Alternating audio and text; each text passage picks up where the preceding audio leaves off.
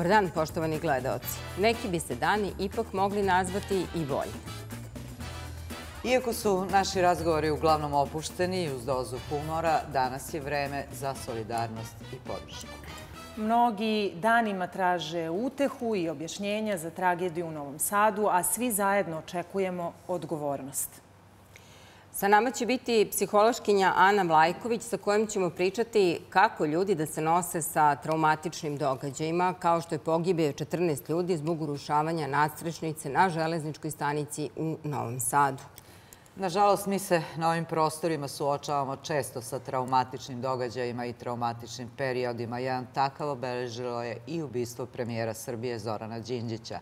Sa rediteljem Goranom Stankovićem pričat ćemo o seriji Sablja i o tome postoji li kod nas kultura sećanja. Sve oči su danas uprate u Ameriku i tamošnje predsjedničke izbore, Harris ili Trump. Pitanje je na koje verovatno nećemo dobiti konačan odgovor danas, ali glasanje je počelo. Sa politikologom Nebojšom Lazarevićem pričamo o specifičnostima američkog sistema glasanja, ali pre svega da se vratimo na pitanje odgovornosti za tragediju u Novom Sadu počinje 3D.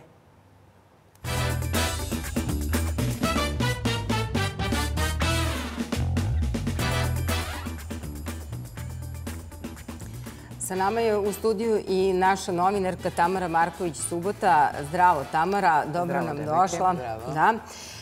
Pa da na početku prokomentarišemo informaciju da će, da pročitam, nadležne gradske službe u Beogradu obilaziti javne objekte i prostore u vlasništvu grada radi procene bezbednosti, odnosno potrebe ograničavanja njihovog korišćenja i sprečavanja potencijalne tragedije.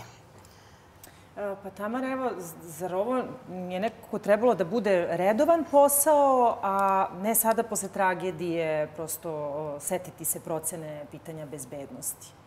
Pa naravno da je trebalo da bude redovan posao i ne samo da je trebalo, to je ono što je zakonska obaveza. E, nažalost, mi evo četiri dana e, posle ove strašne tragedije, posle ove strašne nesreće pre svega, imamo to saopštenje gradskih vlasti da će oni sada Eh, obilaziti i procenjivati bezbednost, procenjivati da li negde postoji rizik. To je ono što je redovan posao i što podrazumeva u svakoj gradnji jednu dozvolu, drugu dozvolu, treću dozvolu od građevinske do upotrebne.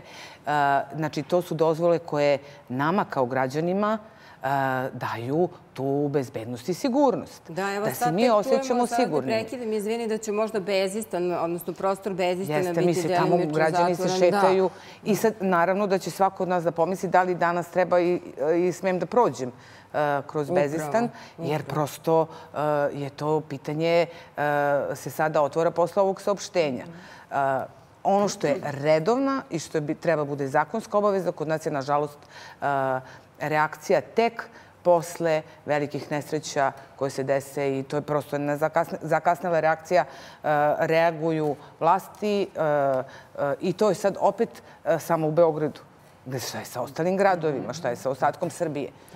Prosto je nešto što je moralo da bude u svaki objekat tog momenta rešeno.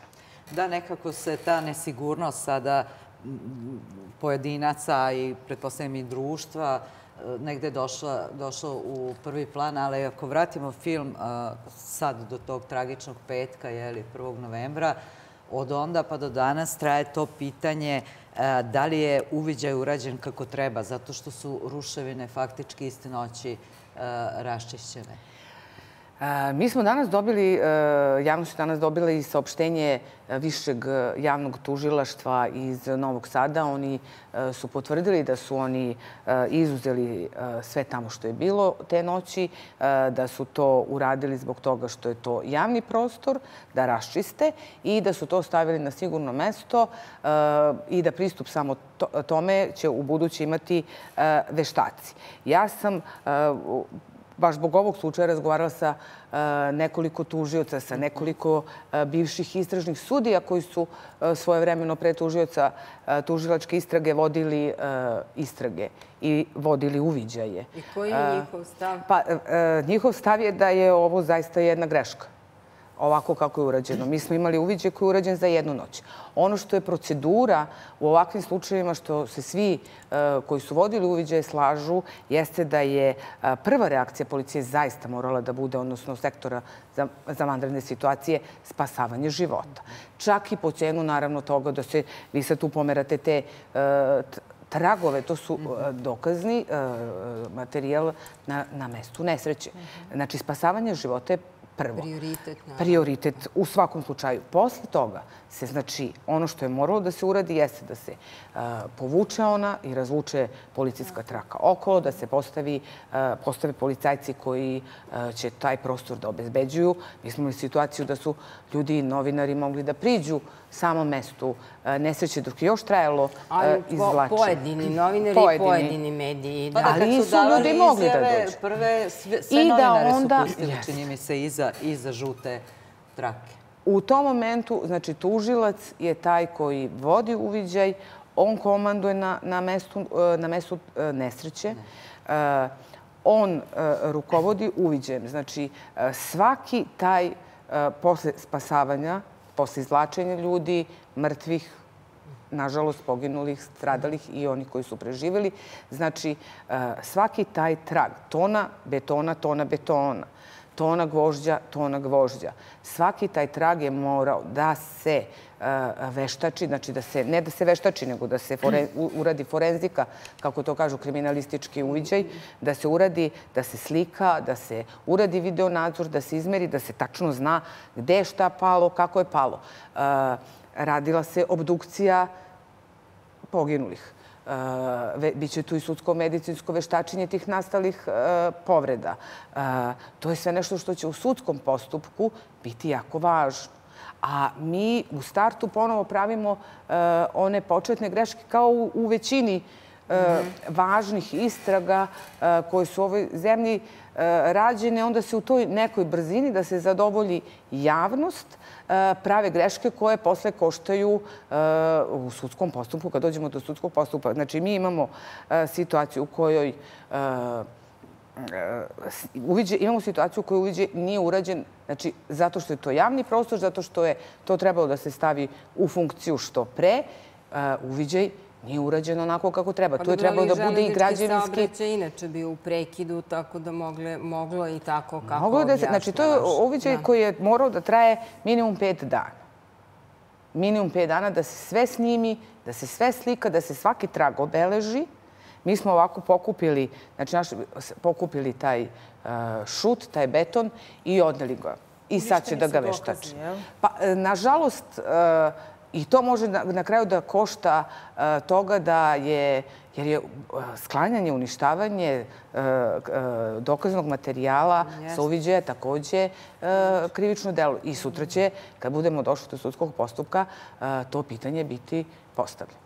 E sada, koliko znamo, do sada je saslušano blizu 50 ljudi, a oglasilo se i tužilaštvo, je li tako?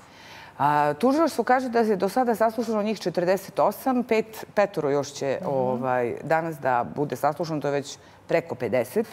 E, sad se naravno postavlja pitanje kako e, je tužilaštvo to tako brzo uspelo da sasluša e, tolike ljude. E, oni su to objasnili da, su angažu, da je tu angažano pet tužioca, da, je, da su i dva tužilačka pomoćnika.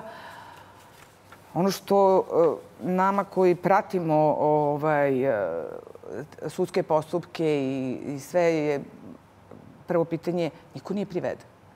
Znači, niko nije priveden. Ljudi su, e, ovo, su praktično Znači, vi ne možete da saslušate 48 uh, ljudi u da punom kapacitetu. Nikak, u punom, I da ne da, dobijete znači, nikakvu to, informaciju jeste, koja je znači, relevantna, na primjer, za... To je jedno. Drugo, da. zna se, tu postoji ceo lanac odgovornosti. Mm -hmm. uh, nikome nije određen pritvor.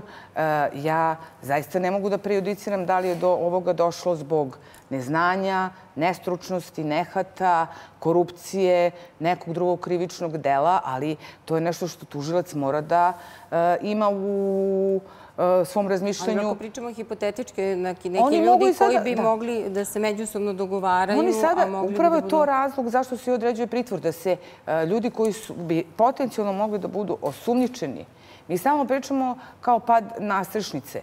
Pad nastrešnice, posljedica toga jeste pogibije i smrt 14 osoba među kojima je, su deca, mladi i to je zaista jedna strašna nesreća. Nesreća za koju je neko kriv. Sigurno je neko kriv. Ko u tom lancu je kriv, to je ono što, će, što sad istraga treba da utvrdi. Ali e, prosto ne možemo sad unapred da kažemo pa to je nehat, bio neznanje, niko ne znamo, možda je neka, neka, neko krivično delo zbog kog se sad osumnjičeni ljudi koji potencijalno osumnjičeni, koji mogu da budu osumnjičeni, sada dogovaraju. Kako će krivično delo da zataškaju. To je prosto neverovatno da do sad nikome nije određen pritvor. Rekla si nam da si očekivala da su obezbedi lice mesta drugačije, da se uveđaju izvrši e, drugačije i da možda neke lica budu privedena ako je složen postupak, kao što nam kažu. God da je složen, zna se ko je treća stvar, ipak se tužilaštvo oglašava. Da li je možda za očekivati da budu um, više upućeni, otvoreniji za javnost, da se češće puta oglašavaju i budu pa, pristupačni? Pa naravno da, da, da, bi tu, da tužilac u ovakvoj situaciji bi morao da se oglašava bar dva puta dnevno. Ali bar dva puta dnevno bi morao da se oglašava, jer prosto mi moramo da znamo, javnost mora da zna šta, šta se u ovoj situaciji e, dešava i šta se dešava u ovoj istrazi. I koliko će tužilaštvu zapravo trebati vremena? Koje su tvoje procene? Znači, koji su sad dalje koraci? Da li mi znamo uopšte koliko su oni namerili ljudi da, da saslušaju i šta posle toga? E, zaista, ja ne znam, ne mogu, ne mogu da dam odgovor na to pitanje. E, mi prosto imamo e, situacije gde, gde se e, u slučaju da dođe do određivanja pritvora, mi imamo taj neki rok od šest meseci e, kada treba se podigne optužnica, jeste kad krene istraga, pa do isteka e, pritvora, ako su pritvorski predmeti. E, u ovom momentu to zaista ne može niko da proceni. Mislim, ne znam ni da li tužilac može da kaže. Ovde su sad vrlo važne i ta veštačenja.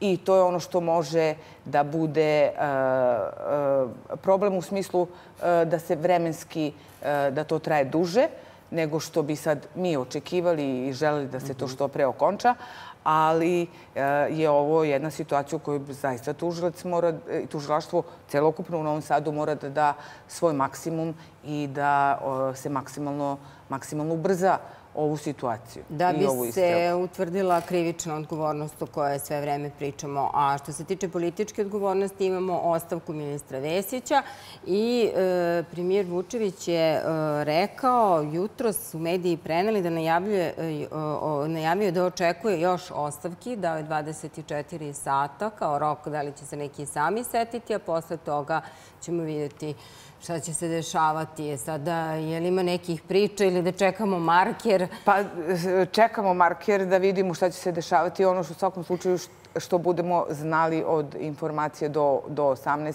to će biti objavljeno u markeru, ali čekamo još, niko nije najavio neku vanrednu konferenciju kao što je to bilo u slučaju ministra Vesića, pa smo očekivali da e, se, da ta ostavka bude, da podnese ostavku. Tako da ovaj, u svakom slučaju će naši gledalci biti obavešteni na vreme. U pravom momentu. Gledamo marker, nastavite da radite. Nadamo se sledeći put da ćemo te dočekati u nekoj drugačijoj atmosferi. U svakom slučaju, hvala ti što si bio. Hvala, hvala vama, devojke.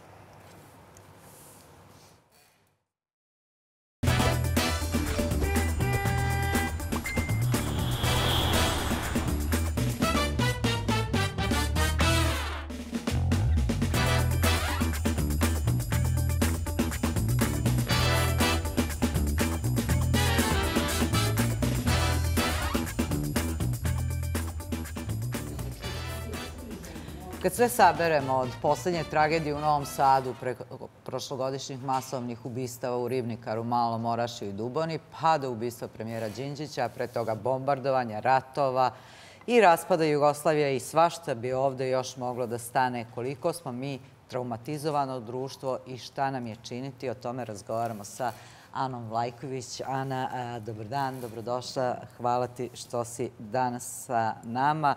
I evo odmah da krenemo od ovoga iz uvoda. Jesmo li mi kada ovako poslažemo šta smo sve prošli u poslednje tri i po decenije, duboko traumatizovano društvo, srednje traumatizovano ili kako se to uopšte sad kod vas klasifikuje? klasifikuje? Mi smo izuzetno traumatizovano društvo jer jedino društva koja se suočavaju sa svojim traumama, sa činjenjem ovaj, ili nečinjenjem ovaj, onih koji su uh, na vlasti bili u, u svih ovih tri i po decenije, društva koje se ne suočavaju na odgovarajući način, ne preuzimaju odgovornost upravo za ta činjenja ili nečinjenja, ovaj, su društva koja ne mogu da izađu, da se iscele koja ne mogu na odgovarajući način da prebrode tu traumu i onda ne možemo ni da govorimo o bilo kakvom boljitku i bilo kakvom prosperitetu društvenom zato što sasvim je jednostavno. Mi smo i dalje u toj traumi. Znači, mi dalje živimo neke 90. godine, mi dalje živimo neki period bombardovanja. Znači, na nekih svakih deseta godina pa sad, nažalost, i češće nam se događaju ovaj, uh, Loši i tragični događaje, da. Da, jeste. A kako uopšte jedno društvo uh, izlazi iz traume? Ana, pomenuli ste odgovornost. Da li je to možda jedan od prvih koraka? Koji su sve preduslovi, preduslovi potrebni da bi se uopšte uh, to isceljenje i, proces izlaska iz traume jednog društva započeo? Da, e, pa odgovornost je e, jedna od prvih stvari. Znači, svako od nas je odgovoran e, za svoj život. I jednog trenutka kad prihvatimo da nema nekog drugog koga ćemo kriviti za nešto, već da postoji neka naša lična odgovornost za ono što činimo, tog trenutka možemo da počnemo da se oporavljamo. Kada su u pitanju kažem, kada nisu u pitanju traumatični događaji, ovaj, prosto nekada nesreće se događaju i, uh, i to je takođe jedna vrsta trauma. Međutim, u, u, u situaciji u kojoj smo mi kao društvo, uh, radi se o tome da prihvatanje odgovornosti je prisilno. Prihvatanje odgovornosti nije nešto što se podrazumeva kod nas, nego nešto što mora da dođe od gore e, neko mora da preuzme odgovornost, da vidimo pa da zamenimo, sutra ćemo da zamenimo fotelje, pa to nekako. E, kad se prihvati politička odgovornost za nešto, e, postoji jedna stvar, a to je da ta osoba nestaje tog trenutka iz političkog života. To je u svetu sasvim normalno, jer kad, a kao neko prihvati na taj način da je odgovoran za nešto što se dogodilo, ta osoba više nema šta da radi u politici. Ona je tog trenutka izgubila poverenje naroda. U, a, mislim, mi, nažalost, imamo političare uh, koji decenijama ovaj, nemaju poverenje naroda, i, ali su i dalje na vlasti. Samo se promešaju karte. I... Samo se jedan isti špil mm -hmm. je ovaj, koji se meša. Da, sad I on što preliva na nas, je li tako? Pre, preliva se, a u ovom slučaju ja sam htela da pitam, najviše su istraumatizovane porodice žrtava po prirodi da. stvari. I sad ako pričamo konkretno, e, da li e, sada ovde treba da postoji nek mehanizam, nažalost, e, svedoci smo nekih tragičnih događaja i pre ovoga, da li smo nešto naučili i ko sada treba da preuzme tu ulogu, da ih pita i da im pruži psihološku pomoć? Da, e, e, Društvo psihologa Srbije je već e, reagovalo i oni su već ostavili i svoj mail i podelili su to, ja mislim, na svim društvenim mrežama i ovaj, preko medija, ne znam koliko, ali ovaj, da postoji. Znači, gde svi oni koji su neposredno ili posredno traumatizovani, ovim poslednjim tragičnim događajem ove, da se mogu javiti društvu psihologa mm -hmm. Srbije gde će dobiti adekvatnu znači da li porodičnu terapiju, da li individualnu, da li grupnu, u zavisnosti od toga znači koja je skupina ljudi o kome govorimo. To je besplatna pomoć. To je potpuno besplatna pomoć, naravno. Takođe, odmah se angažovao i Centar Srce, koji je ostavio svoj broj telefona, na koji besplatni takođe, na koji svako može da se javi, ali to je uh, kažem, za hitne slučajeve. Ovde se govori o jednoj e, dugoročnijoj intervenciji e, i to, je, e, to su lekcije koje su, nažalost, morale biti naučene posle ribnikara. I sada se taj sistem ponovo stavio u pogon i to su terapeuti, psiholozi, terapeuti, psihoterapeuti koji rade u Novom Sadu, koji se nalaze mhm. tamo mhm. i koji mogu znači da pomognu neposredno da im se neposredno obrati, da. jest. Mhm. E sad, e, pomenula si i, i ribnikara i uopšte sve o čemu pričamo. Jesmo li mi kao društvo manje empatični ili samo imamo manje empatičnih pojedinaca i kako to možemo uopšte sad negde da opet klasifikujemo? Evo, e, svedoci smo bili e, u subotu na društvenim mrežama raznih objava, raznih klubova, muzika počinje u 0010. 0010.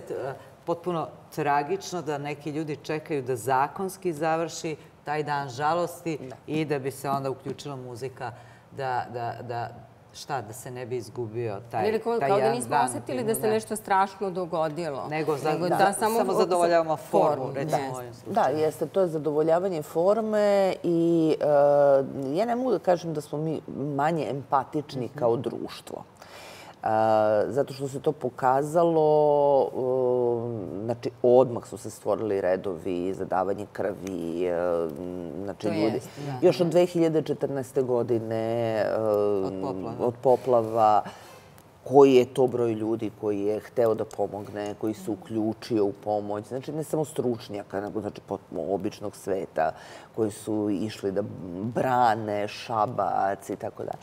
E, nije, ne radi se o e, manjku empatičnosti, ovde manjku empatije, nego se radi o e, jednom segmentu našeg društva koje sve što se događa njih ne pogađa. Znači, to je e odsustvo svesti o tome da svako od nas može, može mu se tako nešto dogoditi. Može se desiti bilo kome od nas da prolazimo, ne znam, pored Beograda na vodi, nam padne terasa na glavu.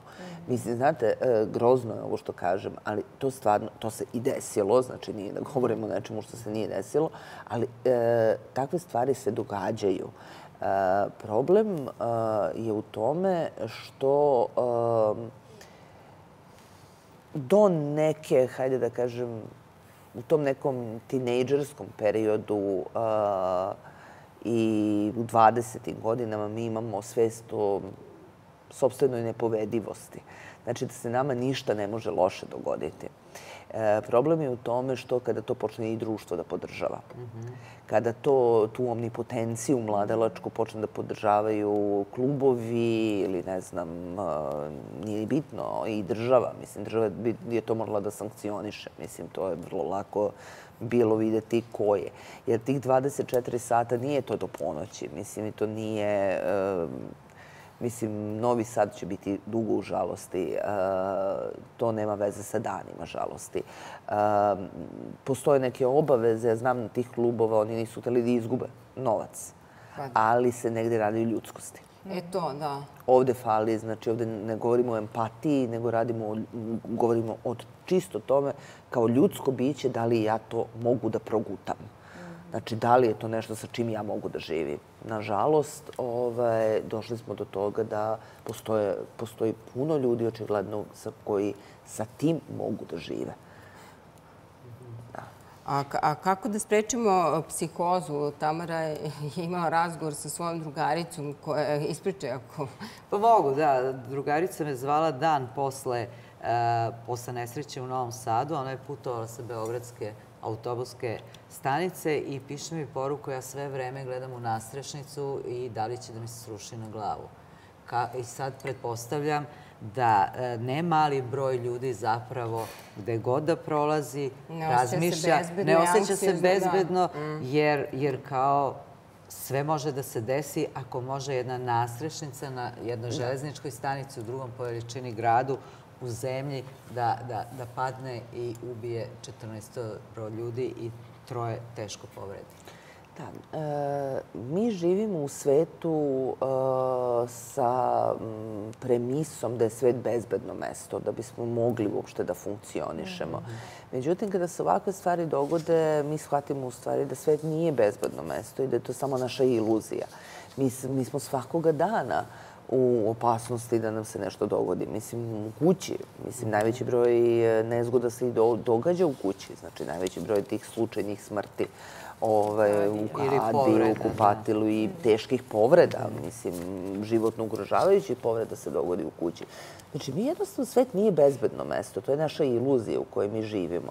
E kada se suočimo sa tim, e, dolazi do pojačane anksioznosti ovaj, kod građana i to je e, sasvim normalna reakcija nakon faze neverice, šoka, da se to uopšte moglo dogoditi, da je to uopšte, kako je moguće, da nešto što je sad skoro renovirano, da se uruši. Znači, to je ta faza šoka i nerverice. Kada to prođe, e, taj, kažem, širi, najširi krug javnosti počinje da osjeća e, anksioznost, a nekada posledičnu e, ne, neki broj, manji broj istina, ali se očekuje da će oko 40% ovaj, stanovništva u gradu gde se dogodi ovaj, e, osjećati i šire čak, ali otprilike skoro, znači oko 40, 39, to su istraživanje pokazala, 39,8% simptomi anksioznosti i nekih 19,2% depresija.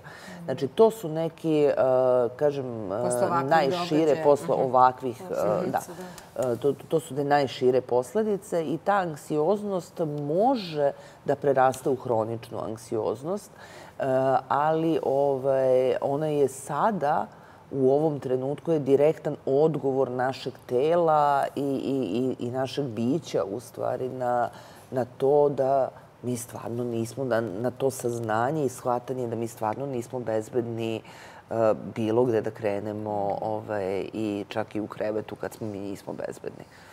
Uh, onda da otvorimo još jednu temu, a to je uh, u ovakvim uh, situacijama reakcija vlasti i korišćenje primerenog, odnosno neprimerenog rečnika. Premijer se oglasio iz Kinu u prvom trenutku i onda, evo, pročitaću, ako se traži nečija glava, rekao da bi se umirila svetina, onda to nije pitanje odgovornosti, već pitanje hajke, dakle, reči svetina, hajka posle se taj diskurs malo promijenio, evo, nismo čuli u poslednjih nekoliko dana, ali e, čemu to i da, da li je to primereno posle tragedije ili neko treba da kaže smirite se, preuzet ćemo odgovornost, odradit ćemo sve kako treba da bi se mi kao građani ponovo osjećali da eto, koračamo bezbedno ulicama grada. Da.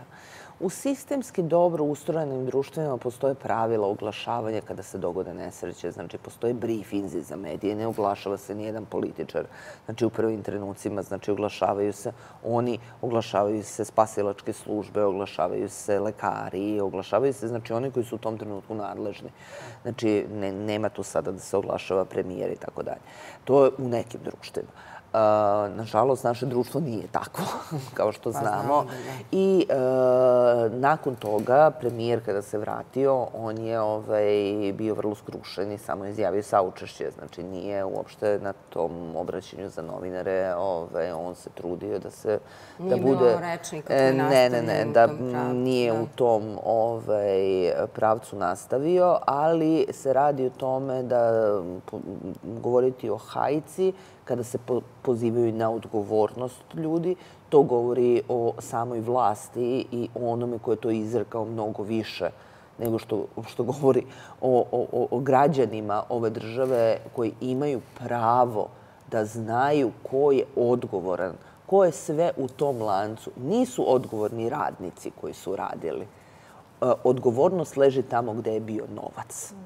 Znači, novac, znači, kada je menjao ruke, e, u tom trenutku su se pravili dogovori šta će se kome dati i uvek je odgovornost tamo gde je novac.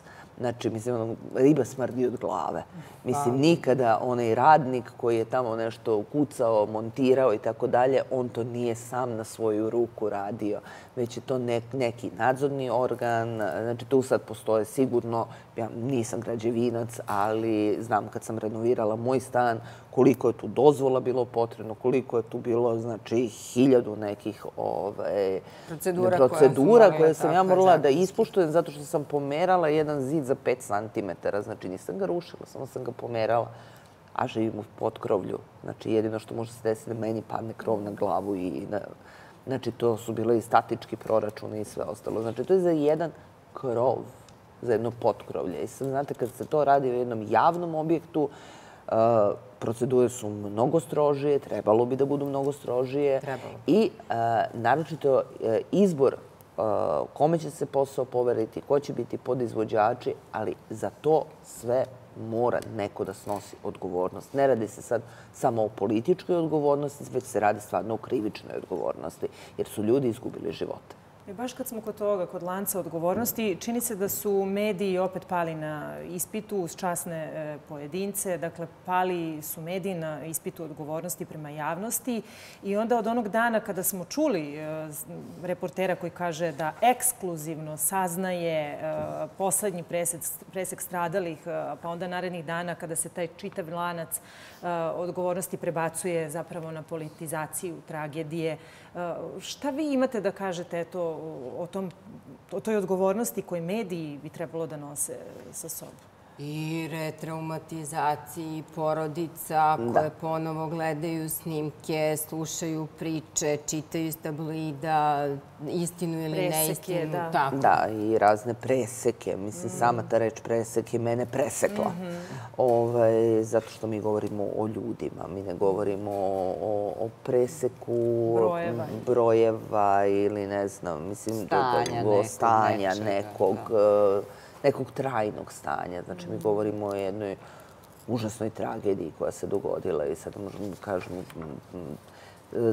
da, statistička verovatnoća da li će ovaj, preživeti ili neće. Sad, sad se malte ne i sa tim na društvenim ovi koji su preživeli ovaj, nesreću, koji su u kritičnom stanju, malte ne ne znam da li su kladionice, možda da, neke da. na crnom ove koje rade, ove su napravile neke, znate, zato što takvi događaji i privlače.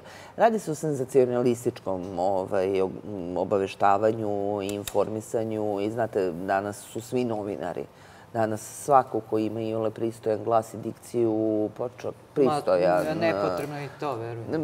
Mislim, da. pristojno da izgleda, to tako mu može da kaže da je novinar. Danas svi mogu biti novinari, ali je razlika u tome što ne znaju da odgovore na pet novinarskih pitanja. Ove, isto tako, ove, e, naslovi koji se stavljaju ne odgovaraju tekstovima koji se nalaze. Snimci koji se puštaju uopšte se ne...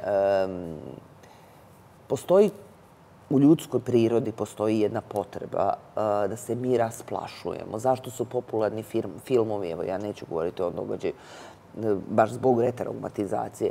Zašto su popularni filmovi uh, gde su velike katastrofe u pitanju, pa onda imaju milijarde ljudi po svetu gledaju razne neke poplave, zemljotrese, mm -hmm. vulkane i ostalo. Mi se tako rasplašujemo.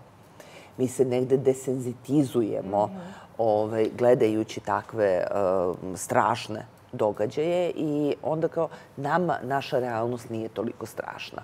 Međutim, uh, u ovakvim slučajevima kada se dogodi, uh, radi se o tome da uh, nisu samo porodice žrtava, nego su sve osobe koje su doživele bilo kakvu vrstu akcidentne traume, nasilja i tako da mogu biti retraumatizovane.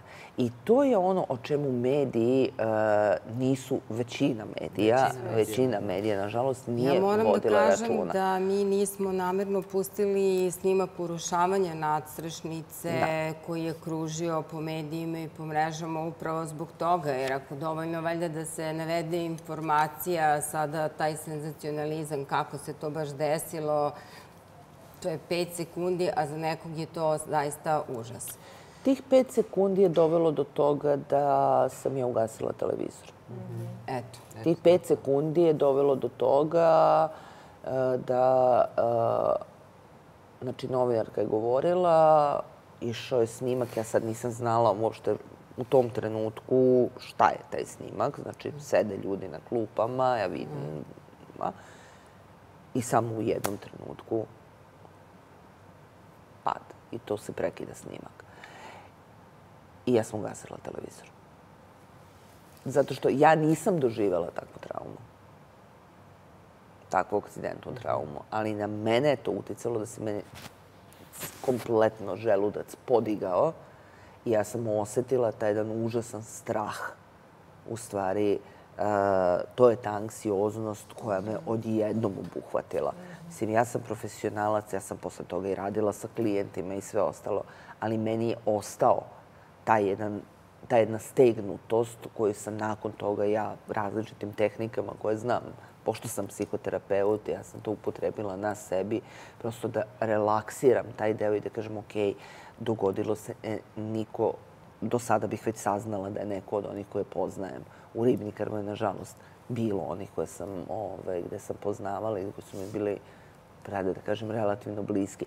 Ali opet, je verao, i kada bismo pogledali ovaj, uh, sigurno bismo videli, jer svakoga od nas postoji teorija tih šest stepeni razdvajanja.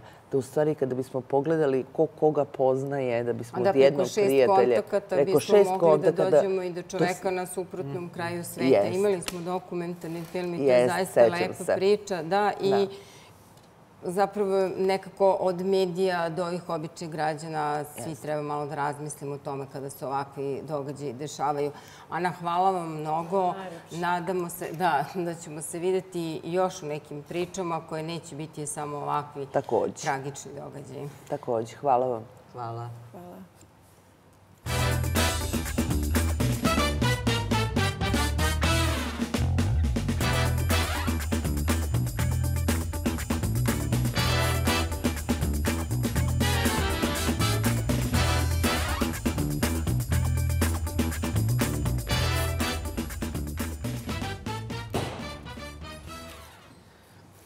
Jedna od tema koja je zbog pogibije ljudi na železničkoj stanici u Novom Sadu ipak u drugom planu je štrajk prosvetnih radnika na poziv četiri reprezentativna sindikata koji sa vladom nisu uspeli da se dogovore o uslovima rada, pre svega o povećanju zarade.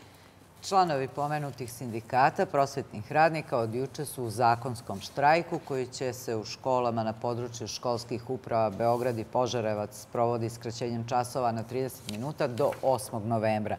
Neće se držati dodatna dopunska nastava i časovi odeljenskog starešine, a zaposleni neće prisustovati sednicama odeljenskih i nastavničkih veća.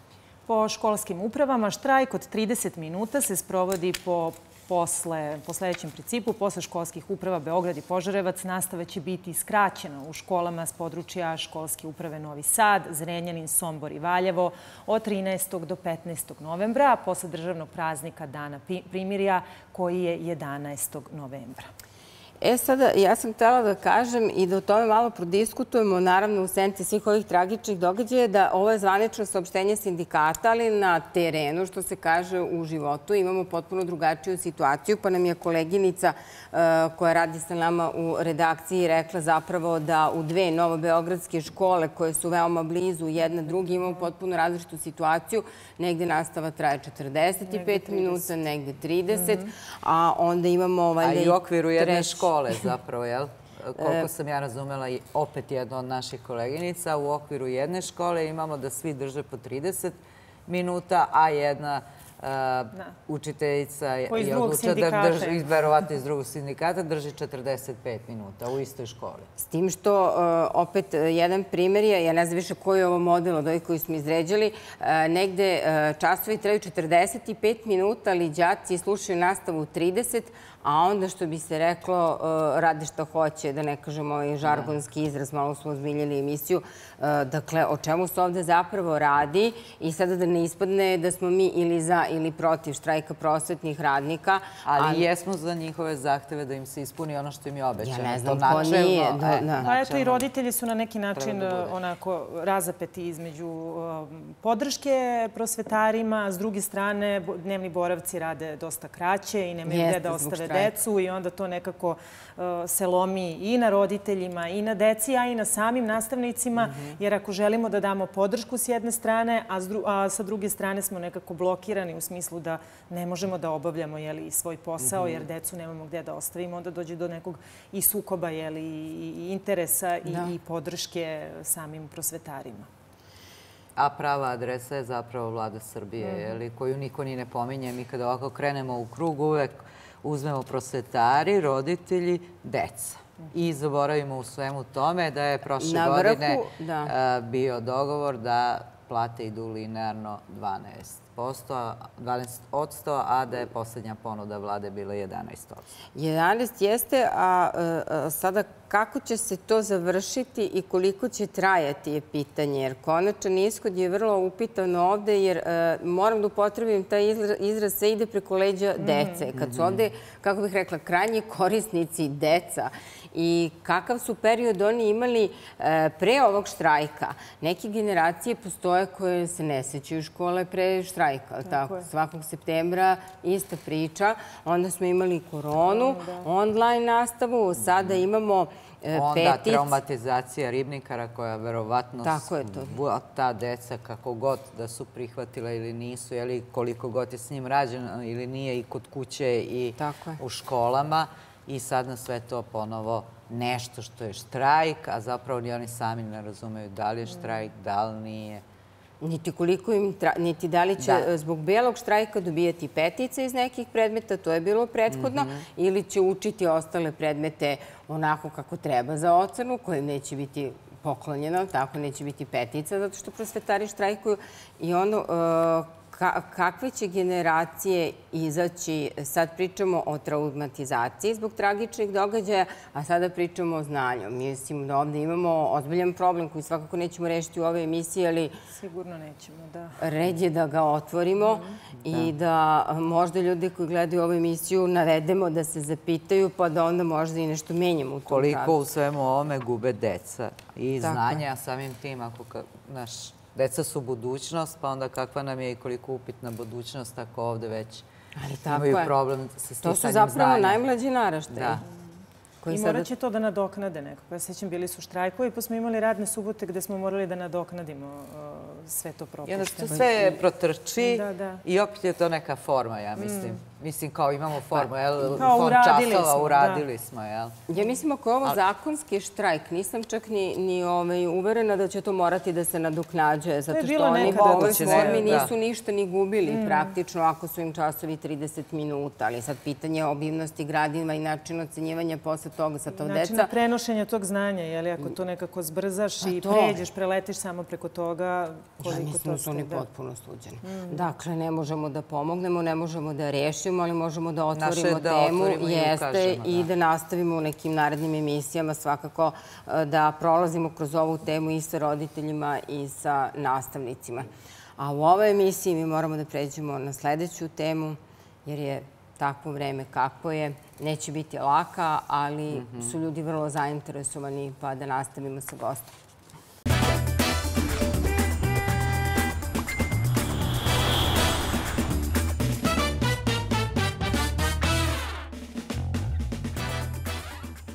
Današnja emisija je prosto takva jer je takvo i vreme u kome živimo, tako da i u nastavku govorimo o jednoj od trauma društva koja traje već 21 godinu. Ubistvu premijera Zorana Đinđića. Insider je snimio ukupno 28 epizoda dokumentarnih o ovom zločinu i njegovoj pozadini. Prvi put o ubistvu premijera Đinđića snimljena igrana serija Sablja, a sa nama je reditelj serije Goran Stanković. Gorane, dobar dan. Hvala dobar što dan. ste danas sa nama. Evo odmah da pitamo kako ste se pripremali za seriju i šta su vam bili neki referentni izvori? Kome ste se okrenuli u samoj pripremi? Da, e, pa imamo mi ovom informaciju da je u pitanju 28 epizoda Insajdera koje je, koje je snimljeno. E, sigurno da je drugačije kad se pripremate za neku dokumentarnu formu.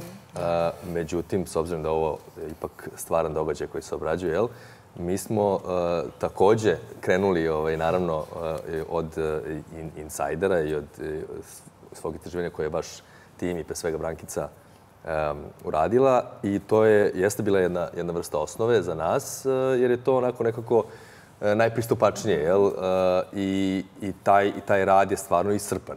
E, I tu ima jako puno stvari i tu se, kako da kažem, došlo jako daleko i duboko prodrlo u, ovaj, u razne teme povodom samog atentata, jer te epizode ne bave se samo atentatom, dakle, bave se i pozadinom, bave se i Ibarskom magistralom, bave se ubistvom Slavka Čurovi i tako dalje, da. koji je bio neophodan da bi mi prosto opet razumeli i uzeli u obzir uh, sve to kada smo sastavljali naš narativ. E sad, um, ono što je, opet kažem, drugačije, jeste što vi ovde u ovoj dramskoj formi na jedan potpuno drugačiji način uh, formirate tu vašu strukturu, um, jer u dokumentarnom serijalu ili u nekom novinskom istraživanju uh, vi baratate nekim činjenicama i vi, e, kako da kažem, s nekim pogledom od dozgo te činjenice raspoređujete i udešavate i e, pravite neke ekspoze.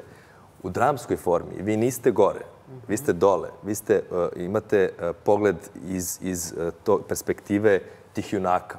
I onda je dodatni, kako da kažem, izazov da sad ti vaši junaci, oni moraju stvari da prolaze kroz nešto, jer to je zadatost dramske forme, da oni moraju da imaju nekakvu vrstu promene. E, I onda oni moraju da imaju svoj razvoj kao likovi, a onda takođe imate tu obavezu i odgovornost, s obzirom da je tema takva, da e, vi tu te činjenice koje su nepobitne e, nekako umrežite i uskladite sa tom dramskom formom. I to je proces koji je eto, nama oduzeo Mnogo vremena. četiri ali, godine. Ali ima, ima raznih događaja u životu um, um, na kojima se temelji i posla igrana struktura, ali ovo je događaj ubistva premijera e, iz naše nedavne, možemo da kažemo, istorije. Sad, koliko je to bilo komplikovano, zato što je to ipak osetljiva tema, pretvoriti takav događaj u igranu strukturu. Je bilo komplikovanije zbog toga? E, pa, znate šta, naš stav, e, pre svega, e, dakle, Vladimir Tagić, koji je zajedno sa mnom kreator, autor, koscenarista i reditelj epizoda, i ja imamo mišljenje da je 20 godina sasvim dovoljno. Ja ne znam iskreno šta bi nam neko vreme koje bi se dogodilo za 5 godina, za 10 godina, šta bi se šta, šta bi nam to dalo u, u ovoj sad situaciji? Kakva vrsta otklona? Ja sad razumem neke od ovih tragedija, nažalost, koje nam se dešavaju i prošle godine, evo sad nekoliko dana. Uh, ja razumem tu vrstu, kako da kažem, otvorene rane, gde vi zaista ne možete da odlazite tamo jer je toliko to bolno. Uh, ovo o čemu mi sad pričamo je jedan događaj koji nas je obeležio, e, naše odrastanje, e, obeležio je definitivno jednu tektoniku na ovom regionu, obeležio je pravac politički u kojem je ova zemlja krenula nakon toga i mi smo osjećali da već sada imamo dovoljnu distancu da se njime na, na taj način bavimo. I sad, ovo je, ja se nadam, jedna u nizu serija ili uh, uradaka u tom nekom mm -hmm. filmskom, serijskom smislu koja će da pokrene tu temu. Dakle, ovo nije ultimativna uh, jel, serija o tome. Ovo je naše viđenje toga na osnovu onoga što smo mi za sve to vreme sakupili. A, ovaj, da se samo vratim na to, tu su naravno posle uh, Insajdera bile sve knjige koje su bile dostupne i o biografiji Zorana Đinđića, i o samom atentatu Miloša Vasića, zatim uh, transkripti sa suđenja, uh, koje su isto, uh, koleginice dve jako, jako ovaj, revnosno zapisale i ti transkripti su na internetu. Posle toga smo imali pristup i policijskim dokumentima, uh -huh. svedočenjima svih uhapšenih i saslušanih. Tako da to bio jedan Pa dobro, obiman... ali odgovor na pitanje je da je ipak bilo komplikovanije. Dobro, e, sad, ajde da, da, da, s obzirom da je, po- pogotovo što je to političko ubistvo, s obzirom da e, je pozadina toga još uvek nešto što nama nije skroz poznato, da, da, svakako da je, ima jednu komplikovanost u sebi, ali ja opet ne mislim da će e, za 10-20 godina nešto biti e, drugačije. Možda sada, ako se otvori ovaj, neka tema, i ako mi budemo opet na neki način uh, inicirali da se o tome priča, može se nešto desi. Ali da ćutimo još 10 godina, ja ne znam šta će to da nam donese. To je Šta bi naš stav. donelo? Odvratili ste nas kroz ove prve dve epizode potpuno u bare mene u to neko vreme i sad bi Ana verovatno mogla nešto da priča o anksioznosti i traumi kad se vraćaš e, vraćaš u nešto što je bilo pre 20 godina, a, ali kad ste ušli u sve ovo, jeli, i znali ste da ćete da nas vratite u, u, to neko vreme, šta, šta vam je bio najveći izazov? Šta su bili ti strahovi? S nečim ste sigurno, kad ste počeli da pripremate seriju o ubistvu premijera, za koju ste i sami rekli da još uvek nema ni političku pozadinu, jel?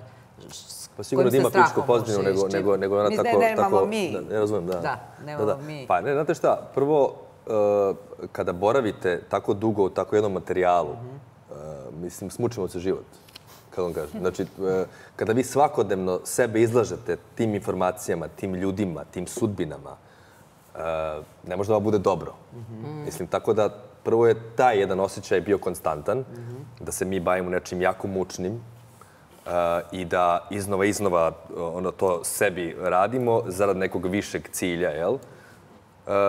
To je jedna stvar. Druga stvar, naravno, s obzirom da je ovo neki sadržaj koji je uh, namenjen da se podeli sa ljudima iz Srbije, jer ta, uh, da kažem, trauma jeste kolektivna i svi smo je proživeli i ideja jeste da uh, tu neku, kako da kažem, to, to ne, mislim, katarza je neka jaka reč, ali uh, to, to, to neko, ajde, kao zajedničko ovaj, posmatranje toga, uh, doživljavanje toga ponovo, uh, jeste nešto što sagledavanje, neka vrsta ogledala, da vidimo gde smo bili, gde smo sada, kako smo ovo dozvolili, šta, gde se pogrešilo, kako da nam se ovo ne dogodi i tako dalje. E, Sigurno da, da, je, da je to što to treba sad toj publici našoj da se predstavi uvek e, jedan e, za zazor, jer kao e, imaš, sad sam pre neki dan pročitao, ima u New Yorkeru, e, s obzirom da idu sad ovi izbori u Americi, Stanfordova neka, a, ovaj, e, ne, ne, neko naučno istraživanje, kaže koliko je u stanju čovek e, kada mu se predstave činjenice da promeni svoje mišljenje i ubeđenje. E, izračunali su da su ono, promili u pitanju. Dakle, e, da, e, ljudi ostaju pri svojim stavovima iako im se činjenice predstave. Tako da, ovaj, to, to je sad ono kao, mi sad iznosimo nešto u nadi da će sad neko ko to gleda da možda malo promeni. Šanse za to su jako male. I sad vi onda opet ipak to radite. I nekako ovaj, je- jeste malo sizifovski, ali, ali ja ne znam šta drugo nam preostaje. Da, ja samo da kažem, ovaj, nekako sam to a, zbrzala, ovo prethodno pitanje, a, pa da ne ispadne da, da sam rekla da nemamo političku pozadinu, zapravo nemamo epilog Jasno. političke pozadine ubistva premijera. Đinđića. Evo, ali Gorane, u seriji se jasno vidi naslov eh, poznatog eh, teksta Aleksandra Tijanića. eh, Kaže, ako, ako Đinđić preživi, Srbija neće. Eto, Đinđić nije preživao, a, a da li je Srbija preživao? Pa mislim, da sad ja, ja da odgovoram, evo svi smo tu, živi smo. Ovaj, Ako je to dovoljno. Da, da, neki, neki, od- neki od nas ovaj, nisu i ono, e, i kako da kažem, e, i- iz dana u dan očigledno da, ovaj, da nas je sve manje. E, mi, mislim da je taj, taj e, tekst došao iz nekog političkog revanšizma u tom trenutku. Ono što je zanimljivo da e, mislim, i to je isto sad, zašto smo mi uzeli ovaj, da jedan od naših aktera bude u stvari neko iz tog medijskog sveta, ona je novinarka, jel?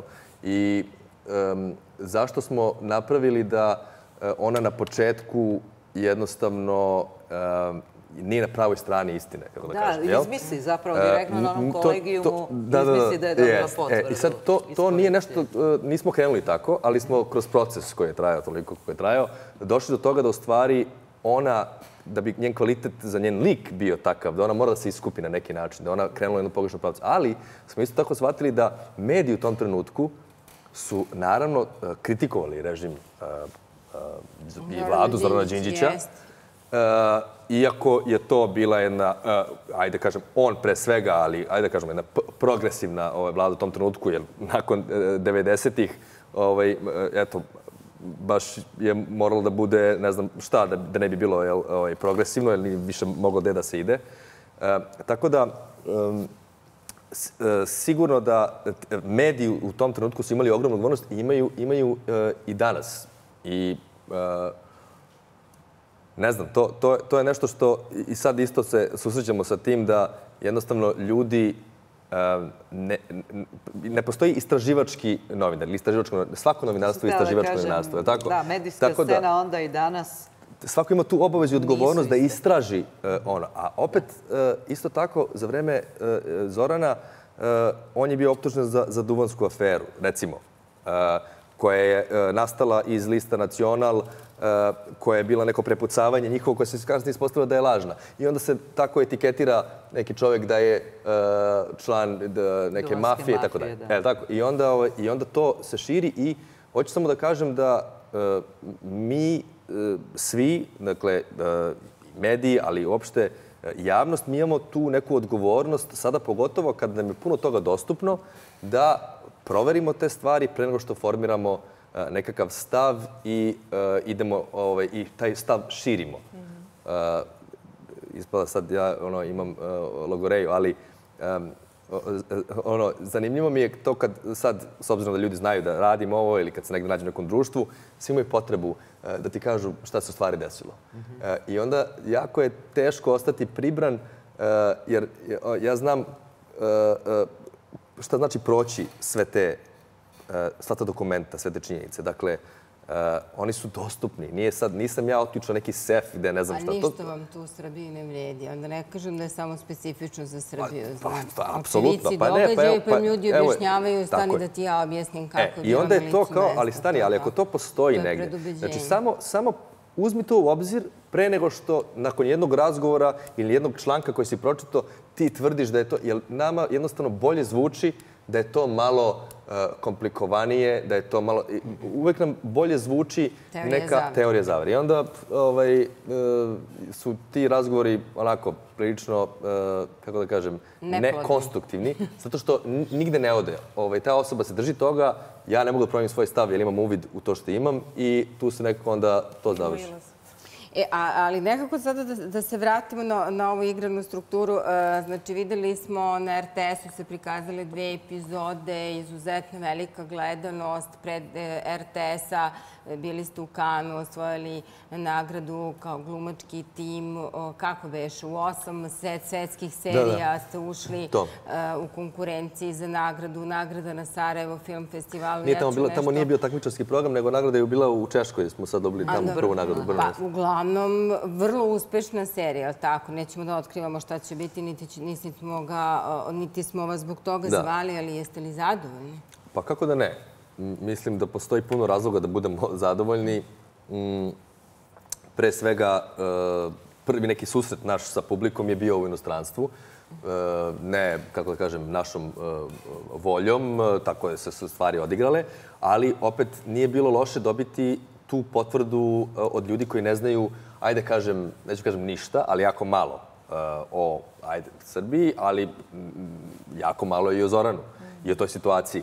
Tako da dobiti taj feedback uh, gde su oni razumeli taj kontekst, jer nama je uvijek, dok smo pravili seriju, bilo um, važno da je napravimo tako da neko ko ne zna ništa, a to opet ne da znači da nije, da nije odavde. Može da bude neko ko je rođen 2003. godine. Mislim, Ovo je kan, jel? E, ovo je kan, ovo, ovo je kada, ja mislim da su ovo, ovo je nagrada. Da, ovo je kad smo dobili nagradu za, za, ovaj, za najbolji ansambl. To su uh, Lazar Tasić i Milica Bojković, naši glumci koji su tada bili tamo. I imali ste izuzetno dug aplauz. Da, i, da, da. i zapravo inostrana publika je shvatila vašu priču. To je, to je najvažnije, da smo, dok smo je radili, imali na umu da ona mora da bude jasna e, nekome ko prvi put da. ulazi u tu celu mi, materiju. Izvinjam se, kad gledamo neki od filmova o, Yes. o Kennedy, ubistvu Kennedy-a, Da, da. Taj film ja i dan danas, posle deset puta, ne mogu da, da, da razumem sasvim, niti da vam Da. ga prepričam, jer to je toliko jedna komplikovana ovaj, struktura i mehanizacija u okviru njega. Ali, ali, ali dobro, ali na primjer da. E, I opet, kad smo, kad smo pravili seriju, da e, ona za domaću publiku koja jako puno zna o tome, da za njih ne bude, pa dobro, bre, znam ovo, zašto sad o ovome pričamo, ajde, nego da i za njih to bude zanimljivo i e, vodeći te dve paralelne, kako da kažem, ta dva cilja su, nekad su se često Kroz ta tri lika, zapravo novinarku, je li tako, policijskog inspektora i ovog mladog kriminalca. mladog Da, kriminalca. da, da. Jer zato što shvatili smo da, ako, jer e, tema je bila Zoran Đinđić koja je došla od, RTS-a, da bi oni volili da se napravi serija o Zoranu Đinđiću. Mi smo mogli da izaberemo jako puno uglova e, za posmatranje Zorana Đinđića e, i njegovo odrastanje, školovanje, njegov aktivizam i tako dalje. Mi smo odlučili da serija se bavi e, atentatom i, onoga, i onim oko atentata.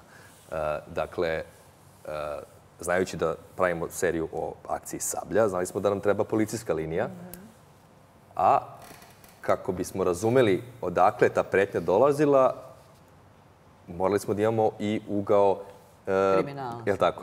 E sad, mi smo odlučili da u seriji ne postoji ni jedna scena, naravno da je centralni lik cele serije Zoran Đinđić, ali ne postoji ni jedna scena u celoj seriji, a da u njoj nisu ili novinarka, ili naš policajac e, kojeg je Ljuba Bandović, e, ili mladi kriminalac. Znači, ne postoji neka objektivna vizura. Dakle, samo oni, na ono na što oni najđu, na informacije koje oni dobiju, samo te informacije su one koje mi kao gledalci dobijamo. I negde je nada kad se njih troje spoje da će e, toliko toga da se u stvari e, razjasni. Imamo još da gledamo. Ali u svakom slučaju e, veliki uspeh postigli ovom serijom. Postigli ste i vašim prethodnim radom, o čemu ćemo pričati možda u nekoj drugoj emisiji kada budemo imali više prostora i sa vašim kolegom Takićem. U svakom slučaju hvala Rado, vam što Hvala ste. najlepše. Gost 3D-a bio reditelj serije Sablja, Goran Stanković, a vi obavezno večeras a, pogledajte, iako ste gledali i ukoliko niste, dvo, dvodelni serijal Dovršen plan o ubistvu premijera Đinđića na Insajderu.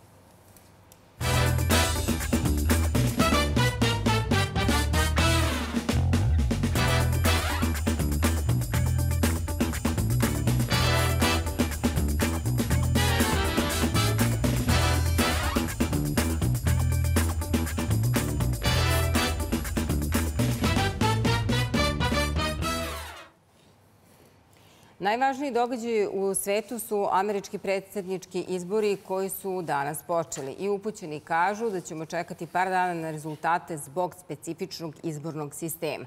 Osim što je reč o državi koja ima nekoliko vremenskih zona, pa je početak i završetak glasanja u različito vreme, prebrojavanje glasova i njihove pretvaranje u elektorske glasove moglo bi da potraje dok saznamo ko je sledeći američki predsjednik ili predsjednica. I zato je sa nama Nebojša Lazarević, analitičar s kojim ćemo da razgovaramo upravo o specifičnostima izbornog sistema u Sjedinim američkim državama. Da li imamo našeg sagovornika na vezi? Nebojša? Trebalo bi. Nemamo ga još uvek na vezi. Nemamo ga. Evo ga. Imamo. Imamo. Samo malo javljaju nam. Javljaju nam... Tako je, evo ga. Je tu tu. ste. Dobar dan i dobro nam došli uh, u 3D, pa makar i ovako uh, da, da, da, da se vidimo. Pa evo, pomenuli smo taj zapravo sistem koji je za mnoge od nas ovde nepoznanica.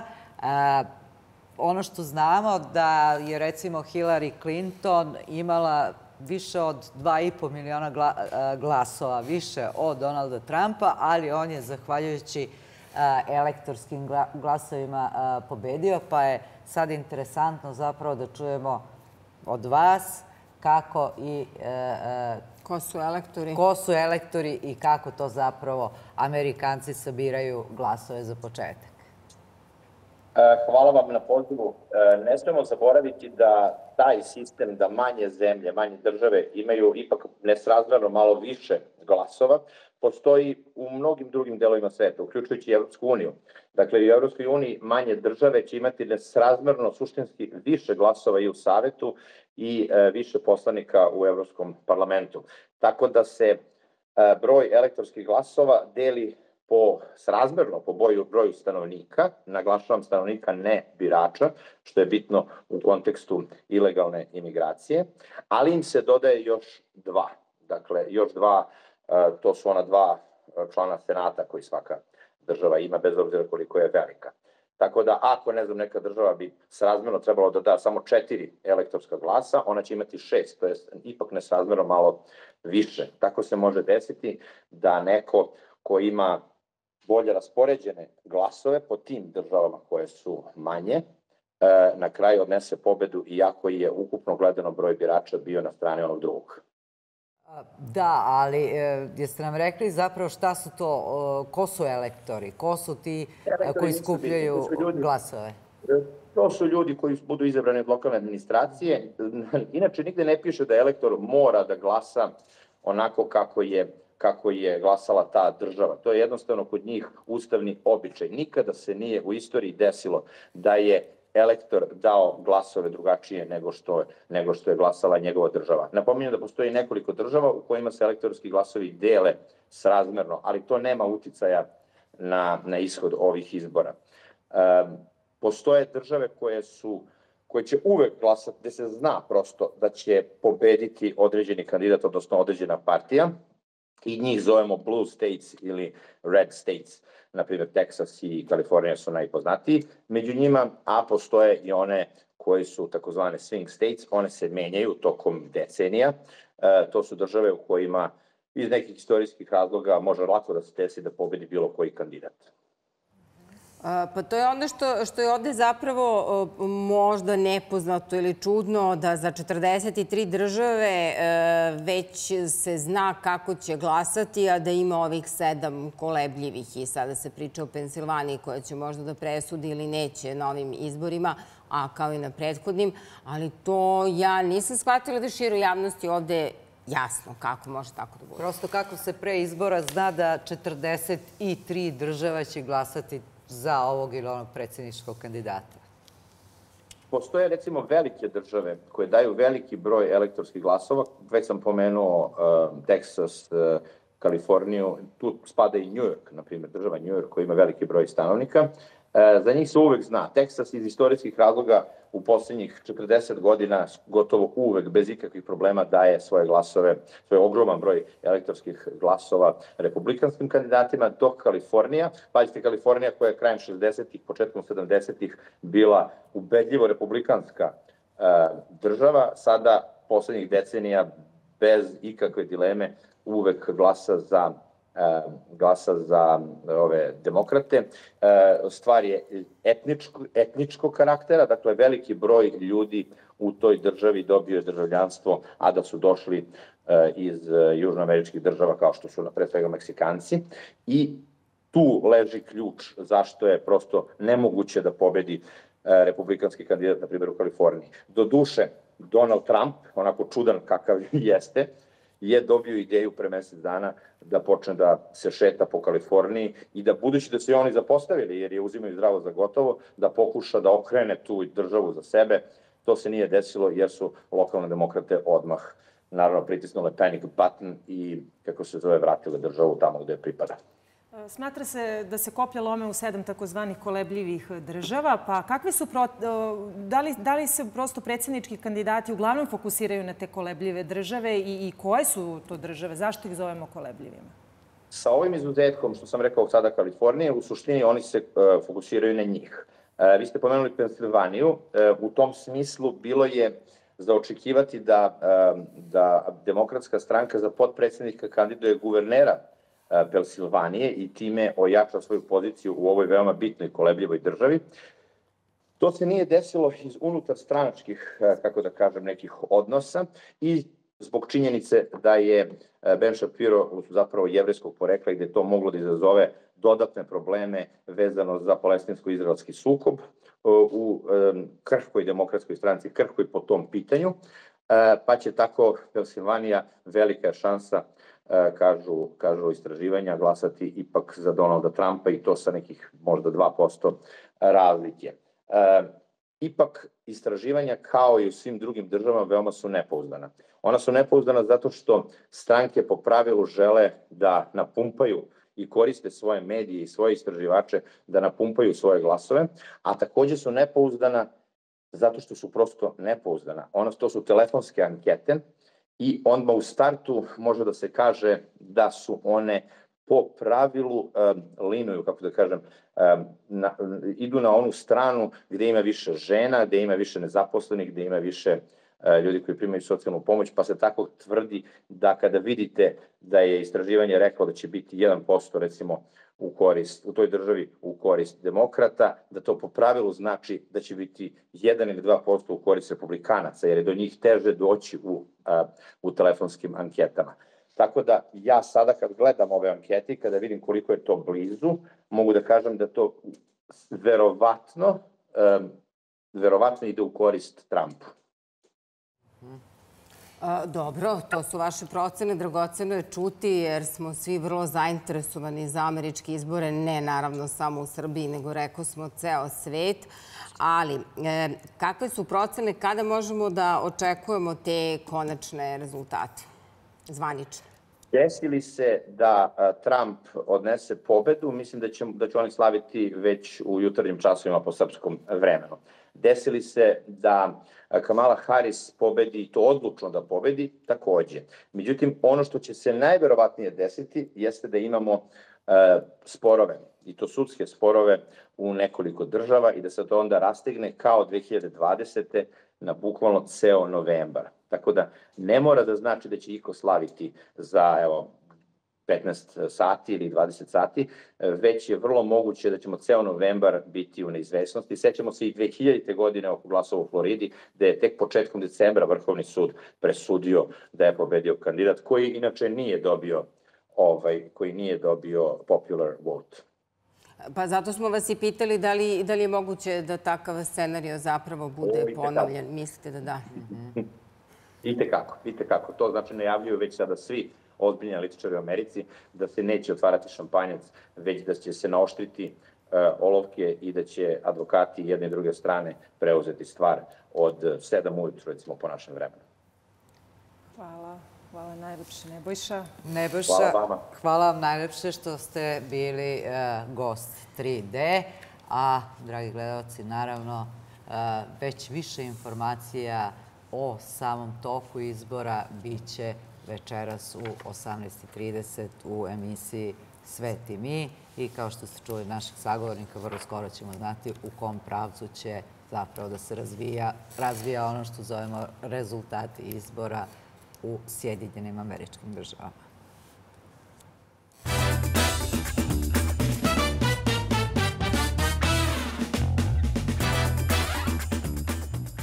Predstava Moja zemlja, šta mladi misle o patriotizmu u produkciji, Reflektor teatra i centra E8 je premijerno izvedena sinoć u Beogradu, a igranja su zakazana i za večeras i sutra u Dorćol placu.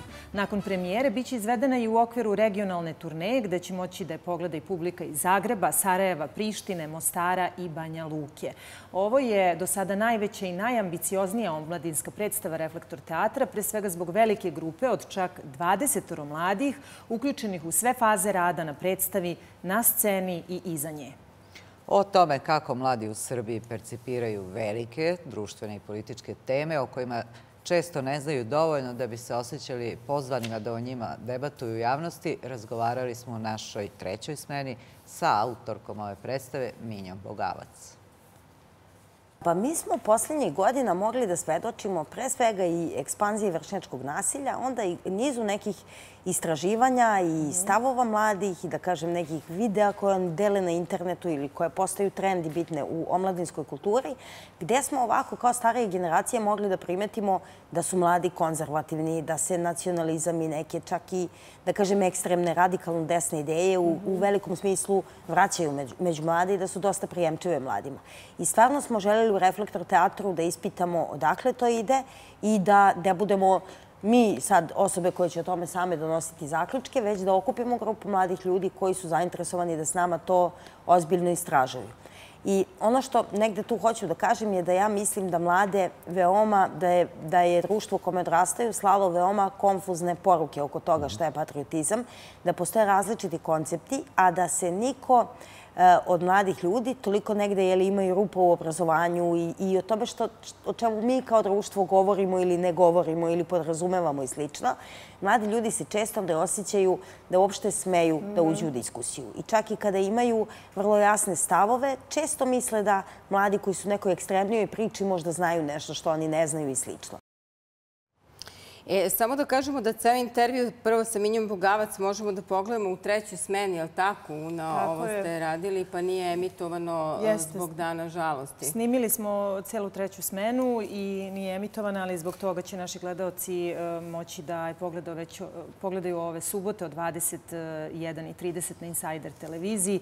Pričali smo još i o tome gde se mladi informišu po pitanju i društvenih i političkih tema i koliko se zamenjuju zamenjuju teze nacionalizam i patriotizam e, i onako je samom procesu koliko im je pomoglo da spoznaju jeli, i da saznaju nešto više e, o svemu ovom i samom procesu, ali i kako da prenesu na svoje vršnjake jeli, informacije do koje ih su dolazile. Tako da tu je sa nama razgovarala Minja Bogavac, a ovu predstavu režirala je Jelena Bogavac, njena sestra, sa mhm. još, kao što smo rekli, 20 mladih ljudi koji su... To je zapravo neverovatno nevjerovatno začajan projekat e, za budućnost. Da, i uopšte malo se priča o tim, o tim projektima reflektora.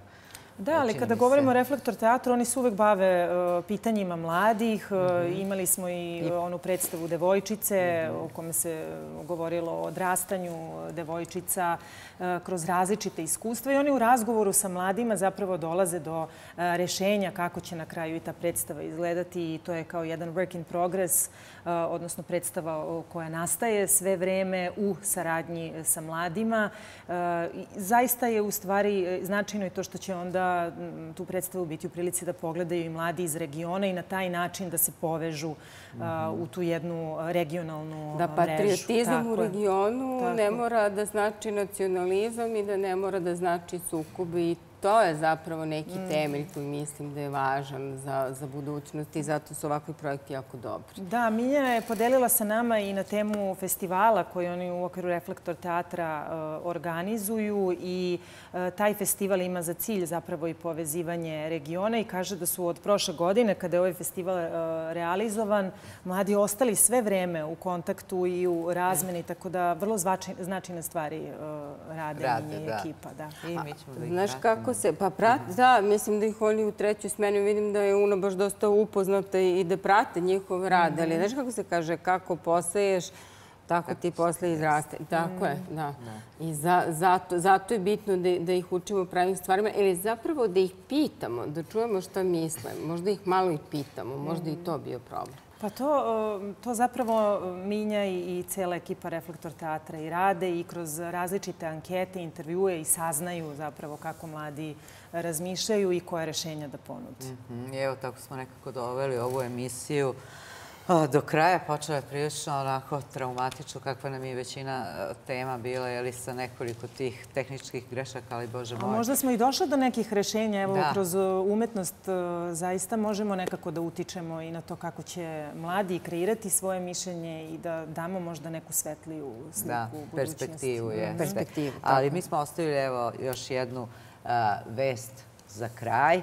Nazvali smo istorijska vest, pošto su ovde baš takve na ceni.